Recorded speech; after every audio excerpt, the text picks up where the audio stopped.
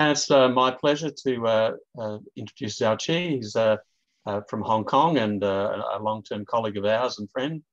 And we're going to hear a talk from him about Lipschitz like properties relative to, to a set with some applications. So please go ahead.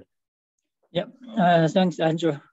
yeah, this is a recent work with my former student, uh, Meng Kai Wen, and the postdoc Li Minghua and uh, the current student uh, Wenfang Yao. Uh, yeah, let me go through one. So they all start from some motivation and the literature review, then uh, the necessary sufficient condition for the Lipschitz-like property, then uh, possible application if I have time to uh, level state mapping. Um, so why we uh, come to uh, to study this uh, Lipschitz-like property? Actually, uh, it's a new area for me. This uh, error bound, and uh, of course, I'm doing variational analysis, but error bound, Lipschitz-like, uh, it's kind of new to me. So, but however, um, we have done something in machine learning. Say if we have we we did something for the recovery bounds right? So which is, uh, I'll say, uh, so suppose we have this linear system Ax uh, is equal to B plus E, right? So E here is kind of a noisy uh, vector. Then, uh, so the, the problem here is to find a sparse vector X uh, as sparse as uh, possible to, to satisfy certain applications. Right. So uh, this is a linear system, but it's under uh, determined the many, many solutions because uh, A is supposed to be a, a small number of uh, uh, rows, uh, many, many number of the columns. so originally in machine learning, we, we can formulate this problem. So we, we can minimize uh, this uh, kind of zero norm uh, of x. So zero norm is the uh, non-zero uh, number of entries for, for x vector. Then we have noisy vector e, and we formulate the constrain as ax minus b, the two norm is less than or equal to epsilon. So this is a kind of a zero norm uh, constraint optimization problem. So uh, it, it, it is known that zero norm, uh, this is with the zero norm, this is an NP-hard problem. So it's not easy to solve. So in machine learning, then the people use the one norm. So one norm is convex. Now we have a con convex objective function, then we have a convex constraint.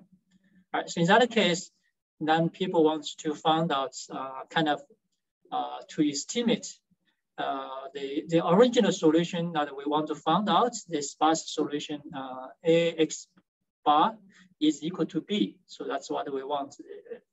Then we want to uh, find out the relation of this uh, of this L1 uh, norm optimization problem with the X bar. So in that case, there are, there are many studies in machine learning uh, society. So there are under some condition, then uh, we can have this kind of recovery bound. So we have this um, the the solution of the uh, the optimization problem. Uh, the distance to the exact solution can be bounded by the epsilon in terms of this order one, this, the, the, power of epsilon is one, right? So in that case, but however, we say here, as we can see in the constraint, the epsilon here uh, as, a, as a perturbation uh, parameter. So epsilon here must be uh, non-negative. So in this sense here, we have the recovery bounds. So epsilon here is not arbitrarily uh, small, but epsilon it is small, but it is non-negative. Right. So uh, that's one uh, case. Then also if we can also formulate that uh, zero norm uh, uh, sparse optimization problem as this L1 regularization model, or it's called a LASSO in machine learning. So we can we can have another uh, formulation here, but the parameter here is somehow uh, slightly different. The parameter here is uh, is uh, is lambda. So lambda here now you put in, in front of this uh, uh, one norm here. Right. So this is some kind of, of course, this is the regularization problem actually to, to me, to us, is this is a penalty problem. Right. So we're trying to satisfy the constraint here x is, is equal to b, and also somehow we want to find out this L1 norm uh, as small uh, as possible right? Because epsilon uh, lambda here is normally is small? So in that case, in this uh, sense here, we can there still uh, recover bounds uh, be established, right? So in that case, we have this. Uh, the bounds here now is the uh, capital O lambda square S. S here is the index, the, the cardinality of the of the X bar. So we have in this sense, still here, the lambda here is uh, non-negative. Then uh, in, along this line, uh, we did something uh, to replace that L1 norm by uh, LQ norm, right? So that's in this uh, one here. So that's some kind of, in, we can say it's a low order uh, penalty problem. Right? So in that case, for from here, we can also establish kind of if we say the uh, global recovery bound, now we are talking about this um, X star lambda is a global solution of this uh, LQ regularization problem. Uh, in, that, in that case, we can have a bound here where the uh, bounds to the power lambda is one over uh, two minus q. Right. Then if we, uh, so here the X star is the uh, global solution. But if we go uh, to the local uh, recovery bound, in that sense, now we are looking kind of uh, looking for some kind of uh, trajectory uh, x star lambda. So we allow lambda Uh, goes to zero. So in that case, we can find out a kind of along lambda goes to zero uh, trajectory x star lambda, which satisfy this bound here. So in this way here now we can have a bound here, which is, a, which is lambda. So lambda here now power is one. So in that case, this local, uh, local recovery bound is better than this uh, global uh, recovery bound. Of course, it's, it's meaningful because global bound uh, requires more information. Local uh, recovery bounds uh, requires less information. Right? So in that case, we have a kind of recovery bounds for those uh, problems. So, uh, so in that case, actually, uh, just one uh, one time, uh, probably one day, and we, we say, now we are doing this uh, kind of uh, recovery uh, bound. But those recovery bound, as we say, the X bar here. Now, X bar here is fixed. So only change here is X star lambda. So this is a, a, a changing vectors here. X bar is fixed. So in uh, this property uh, is known as uh, the calmness property in, uh, in, in, stability theory. So uh, actually, um, the, uh, my one of the students, Wenfang Yao, he, she was she's studying this kind of Lipschitz property, but without without any breakthrough after after after some time. Right. But now we say why don't we come to study this, um, like we have, we can have L1 uh, regularization problem, we have LQ regularization problem. So why do we come to study this uh, Lipschitz like property for the L, 1 uh, regularization problem? So we come to, uh, we go to, to study that one. Then uh, if, how can we, if we, we, why not we study for the general case, uh, kind of uh, this uh, um, Lipschitz like a property, not in the global sense, but relative to a set which is R uh, plus. Right? So that's how we come to this problem here. So this is one motivation. Um, time goes fast. Now another one here, the kind of uh, reinterpretation of the subgradients. Uh, in the uh, variational analysis book, uh, then these uh, results about that for this um, uh, level set mapping. So now we have alpha here is a variable. Now V bar is fixed. Now F here now is uh, a function, but might not be convex for the moment. Right? So in this case, we have this level set. We have this level set. So we can, uh, there's a result that this level set is uh, Lipschitz-like property at this point for this x bar. If this v bar, if this v bar is not in this uh, subgradient state. So in that case, uh, that's what uh, here. This result, this result can be observed by uh, this formula. So this basically is this uh, co-derivative here. So that means if, if V bar is not in this uh, state, then now we have nothing in this one here. So if we have, so there's no lambda uh, non-zero, which make this one uh, to be zero. So something like that. So in that case, this result can be observed uh, from this one here. However, if we took a, a special case that if f is convex, now if we take the R, R um, that R bar as this, uh, consider this point. So because the, because the definition of this um, subdifferent, remember this is subdifferential uh, definition for the convex function, which is an inequality. In that case, if we consider the level set again, then the domain of the level, uh, level set would be including all the alpha where the alpha is greater than or equal to this fx bar. Right. So in that case, if we consider at one point this fx bar, then this fx bar is in the boundary uh, of the domain of S. Right. So uh, in that case, in here, previous Mordukhovich criteria is not applicable because Mordukhovich criteria is only applicable where we have the points in consideration is in the interior, is in the interior of the domain. Right, so that's another one. Now the third motivation I, I found this one uh, is that normally uh, to guarantee some kind of stationarity conditions, so uh, the global uh, regularity normally probably sometimes is not needed, but only the regularity uh, along uh, certain directions is sufficient. So in that way, we still consider the, uh, the, the regularity not in the global sense, but in the local sense or in the, so that's kind of uh, motivation I can, I can find out here.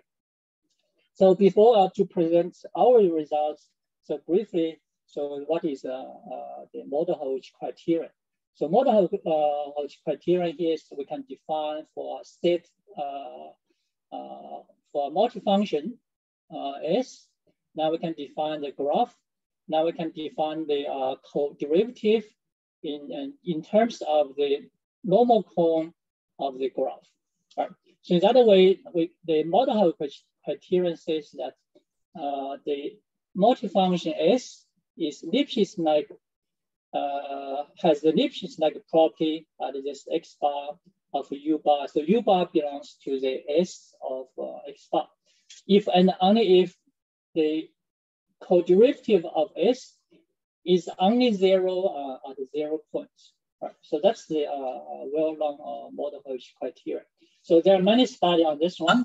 So that's kind of application uh, model criterion. And uh, there are some other tools instead of the model criterion and other tools uh, can also be applied to study Lipschitz-like property. Then uh, the Lipschitz-like property actually, uh, we check the literature, uh, Lipschitz-like property relative to a set. There isn't much study yet. We only found out this uh, when we uh, did our research, we found out this. Uh, uh, in 2019, they have a, a sufficient condition uh, for the uh, for this property uh, in terms of their directional co-derivative. Right. Then there are some other property in the very in the stability theory relative to a set. So I briefly go through this one. So now I come to what we are going to do here. So time is very fast. All right, now I have talked about this uh, Lipschitz-like property. So what it is, so basically is now we have this um, uh, multi-function, uh, multi-function S here. Then we have this uh, X bar, we have a U bar belongs to this uh, S of X bar. All right. So this inclusion here uh, is a property uh, for this Lipschitz-like property, uh, Lipschitz-like a property relative to a set. So X here X here, the capital X here is the state that we are uh, interested. So we only consider here the point uh, X prime and X, they are variables, X prime and X here. They can change within a neighborhood of X bar, but they only also can only be allowed in the X set that we are interested. So this is the definition of this uh, Lipschitz-like property. Right. So of course, if we have this uh, capital X is the whole space, then we have this uh, uh, uh Lipschitz-like property, which is also uh, called the Aubin property that's introduced by Aubin actually in the 1984. Uh, right. We can have also the modulus. So the kappa, this constant kappa here, which is positive, the smallest kappa satisfy this relationship for certain uh, neighborhoods is called this uh, graphical uh, modulus of X. Then uh, what do we do here now? We derive some uh, necessary condition and we uh, get some uh, sufficient condition. So we consider basically the multifunction being restricted on X, right? because now we only have the X which we are interested. So in that case, we can have a uh, necessary condition here, which is presented in this uh, uh, inequality here. So X star and uh, U star uh, is uh, has this uh, relationship where we have this uh, little head here, which is the kind of regular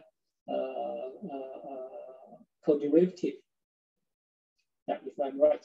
Uh, so in that case, for for those x star and u star, where the x and the u are the neighborhood of x and x bar and u bar respectively, then we have this maximum which is less than this uh, u bar uh, uh, u star uh, the norm, right? So now what do we have here, we have this uh, uh, tangent cone uh, comes in. So basically, remember if we have this uh, x star uh, belongs to this uh, co-derivative here, so which basically this x star u star belongs to a regular normal cone. Remember the regular normal cone definition, which is kind of uh, limits through kind of uh, quotients, which is less than uh, zero. Right. So in that way, that that quotient there is uh, is including two parts one part is X, another part is U. Right? So in that case, for the U part, we can get something from this Lipschitz-like property definition that inclusion can be bounded. But for the X part, X part, but remember in the numerator of X bar, the denominator of X bar. So in that case, we can have kind of re, uh, uh, the ratio here, which give us the way to, to derive this kind of U belongs to tangent cone. Remember, tangent cone definition is uh, this um, uh, C minus X divided by T, something that the, the, the, the limit. So that's how this T, this tangent cone uh, uh, comes in here. So if we get uh, the sufficient condition here, uh, now we only assume the X here is closed, not a, no convex. So X is, capital X is only a closed set. So here, if we kind of somehow strengthen uh, that inequality, we make this uh, max term over kind of a larger set, then this also, of course, this X star and U star here, now X star belongs to the co-derivative of this uh, S here, uh, in that case, we can have this uh, Lipschitz-like property uh, relative to the X. Right, so we, have, we can have a sufficient condition by strengthening this one. Now, if now uh, assume this capital X is closer than convex, now we can get an equivalent condition for what we want. So in that case, now we have this property here. This equivalent here now, the right hand side is the same, uh, but the left hand side now is uh, the norm of the projection of the x to the uh, to the tangent cone.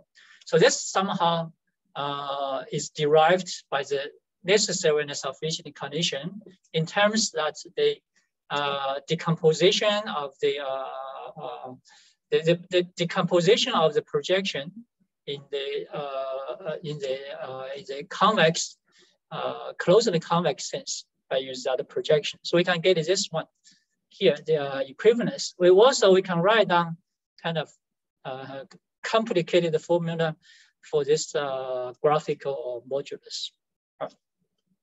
Furthermore, we can uh, define a new uh, co-derivative here. In that case, what do we need here uh, in comparing uh, with the original co-derivative. So co original uh, co-derivative here is using uh, there's an extra bracket here. The original uh, co-derivative here is use the uh, normal cone where the x and the u are fixed. Here now, what we did here, we need to use the normal cone where the x and u are in the neighborhoods of the x bar and u bar. And we project the normal cone onto this product space, then we take the limit suit. So in this case, now we can define this uh, projectional uh, co-derivative. So in this way, we can somehow previous uh, necessary condition that the equivalence can be redone as this what we call it uh, generalized Mordukhovich criteria. So in that sense, we can say these three conditions here are equivalent. With also, we can write down this uh, Lipschitz uh, graphical uh, modulus uh, as this norm of this uh, uh, multifunction here. Right. So of course, we can say simply, if we have x bar so the Mordukhovich criterion or the global uh, Lipschitz-like property, so the key point is X bar is in the interior of the set we are considering, right? So, so what we are doing, the why we are doing the relative to our state, so we are interested in the case where the X bar is in the boundary of the X capital X, right? So of course we can say that if X bar is in the interior of X, then of course the projectional co-derivative reduced to the uh, co-derivative. Right now, then we have this uh, generalized uh, Mordukhovich criterion uh, go goes back to the Mordukhovich criterion. Right.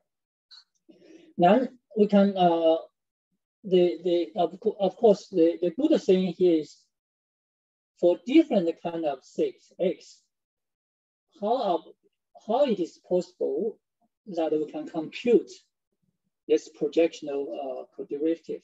So this kind of basically is a kind of a difficult uh, uh, task because the projection normally is difficult to compute uh, as I know. Right. But however, we can only uh, in two cases here where this S now is a single value mapping, not a set value mapping anymore. So now we have this single value, value mapping. Now if X here is the uh, linear space is a affine space, uh, affine set. Now we can compute this projectional co-derivative as this uh, this term here. Uh, also, if we have this x here is uh, kind of half space, now we can still compute this projectional uh, co-derivative, where we can have two cases either we have uh, this one here or this one here. So somehow this is this is we can compute. Uh, as the uh, as the uh, as a comparison of the sufficient condition, uh, so Benko, they derive sufficient condition for the by using their uh, directional uh, co-derivatives. So their results, we, we write their results in this form here. So basically, of course, their result, of course, is it is uh, stronger because there, there is kind of uh, sufficient. Our result is kind of equivalent. So of course, but indeed, we can find out an example in here uh, as kind of the uh, solution mapping for uh, LCP. Now, for this uh, multifunction, one thing here we can compute this uh, graphical modulus relative to the domain which is positive. Of course, that means this um, state, this multifunction uh, S is Lipschitz-like property uh, relative to this domain. Right? But however, uh, as in, uh, in their case, we can compute there this uh, limiting, uh, directional limiting co-derivative is not zero. So that means their condition, sufficient condition is not uh, applicable. Uh, so actually, but however, uh, computation of this, uh, uh, computing of this example is, we need to uh, consider because LCP, there are kind of combinatory slides. There are many kind of kind of difficult uh, what I want to say here. Not uh, simple to compute this one. Uh, so finally, probably I just uh, the little time here. So uh, goes back to the goes back to the uh, uh, problem of the level state I mentioned. Right. So we are interested in this level state, kind of per perturbated level states with the original function now we have this linear kind of perturbated uh, term in here. So we consider this uh, uh, level six. Right, so of course now we assume this this um, this point here. This is basically is alpha bar. Right, now we assume this point is in the boundary uh, of this uh, multifunction. All right, we somehow lead to we can we can uh, have the similar results that somehow that if the state value mapping, this level state is uh, allowed uh, Lipschitz-like a property relative to the domain at this uh, alpha bar, if only if this V bar uh, belongs to a certain state. But what is this set here? Indeed, we found basically this kind of outer limiting subdifferential here we define this uh, here, but what we require here is that, so Vk belongs to this uh, subdifferential where xk uh, tends to x bar.